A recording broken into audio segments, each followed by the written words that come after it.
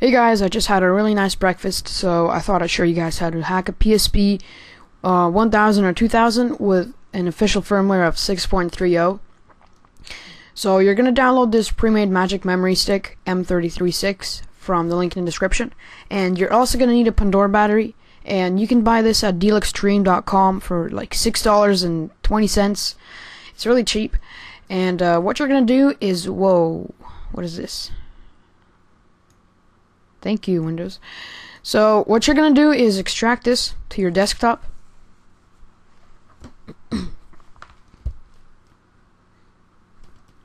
and you're going to go inside and you're going to install PSP Grader. I've already got it installed. And once you do, go into pre-made 5.0 OM334. And what you're going to do is you're going to plug in your PSP and my PSP should pop up in a second here. Okay, there we go. So go into your memory stick and what you do is copy this. No, delete this and copy this into there. Oh yes, and make sure you've backed up everything on your PSP before you do this. Yeah. So now go into the PSP grader. And launch PSP grader. And then click on here in target memory stick. Select your um, memory stick.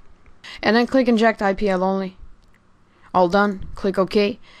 And you are done. So close it. And let's go into my PSP now and I do have the latest firmware. This is version 6.30.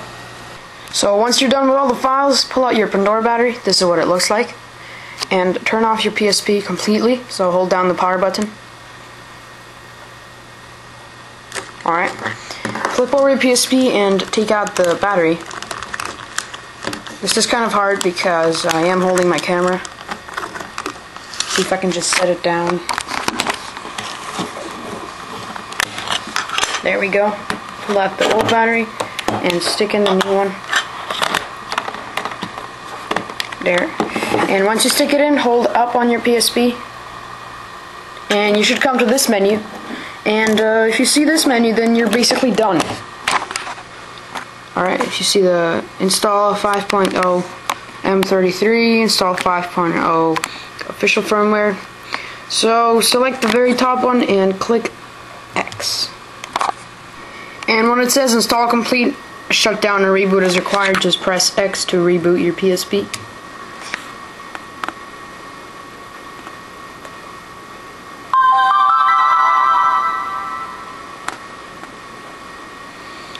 And guess what?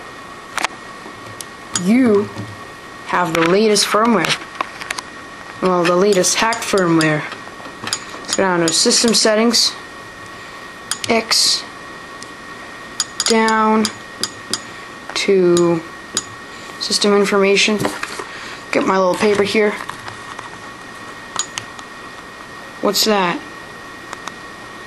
M33-4. Awesome. And some of you are wondering why I blocked my MAC address, and that's because Sony blocks PSPs if they see their MAC address and if they know they're hacked. So I don't want to get my PSP locked so I cover up my MAC address, and I suggest you do too if you make PSP videos. So now you're going to update to M33-6. So go into your memory stick and launch the PSP update.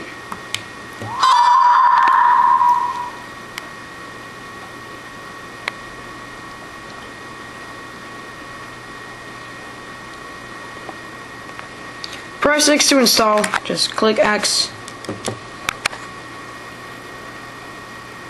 And it's already complete. That was easy.